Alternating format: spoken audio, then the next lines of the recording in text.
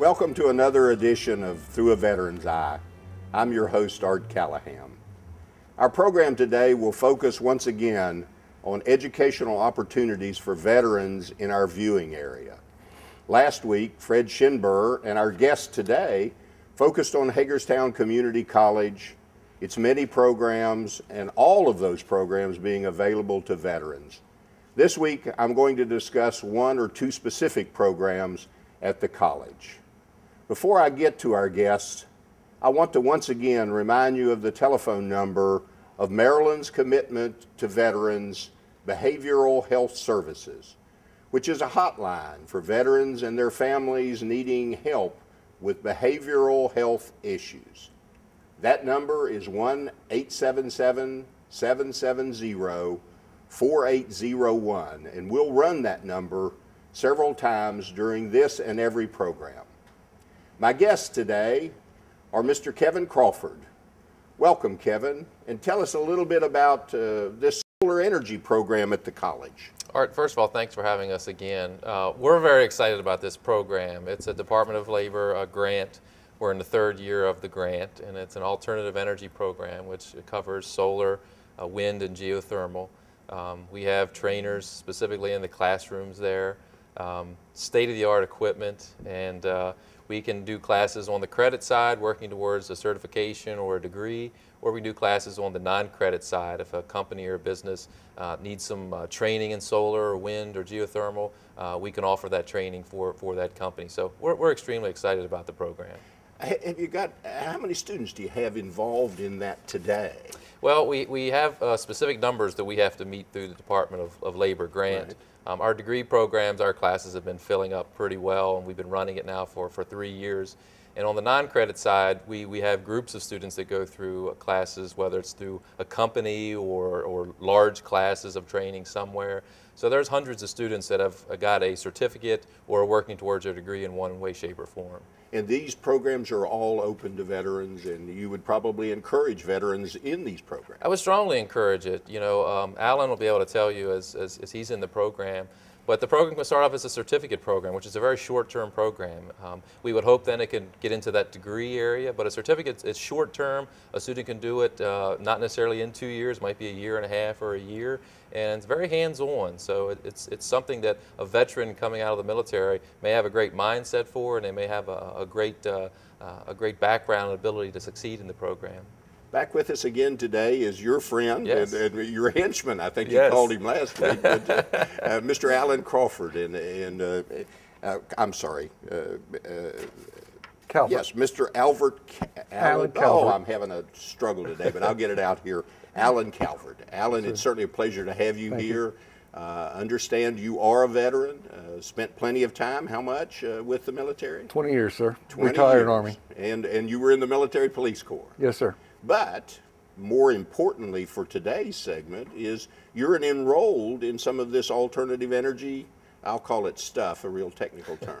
So. Yes, I am an alternative energy technology major. Okay, and so what and does that entail, Allen? Tell me a little bit about the program. I'm actually pursuing the degree, not just a certificate. So I'm covering the wind, the solar, photovoltaic, and the geothermal. Okay. And it's a really well-structured program, so it doesn't just cover the alternative energy. It covers all the foundational skills so that even if you don't have a position right when you come out of energy, you're well positioned to work in any of the different trade fields, electrical, HVAC, what plumbing. We were out and shot a little background uh, information uh, for this show. So, so tell me, uh, as, as you look around the uh, the uh, area where the training takes place. Tell me about some of this stuff. I saw a propeller. Is that a wind program or? Yes, sir. They have a, they have some very high quality uh, Lab-Volt training equipment to where you can actually get realistic simulations and hookups on how all the systems interact. If you're looking at hybrid systems which use multiple sources, or if you're going to look at using just wind or just solar. I saw some solar panels and so you can you can get some training on the, this technology called solar, I guess. It, it's very technical. You have to understand the physics on how the sun converts energy to DC power, and then you have to be able to figure out how to convert it from DC to AC. Okay. And they cover all those aspects in the class. I know from last week your background and experiences with the Military Police Corps, but I would assume that uh, that uh, people that had uh, MOSs, military occupational specialties, uh, in the Army or Navy, Air Force, Marines, whatever, that related to engineering and communications and computers would all have good background of, to, to be involved in this program? It would work very well. Uh, We actually have an active duty Navy person in one of my classes that's an electrician. So he's taken some of these classes and it gives him a good foundation. For that. Uh, The college has uh, a young man that specializes in looking at portfolio to get us credits for our military training.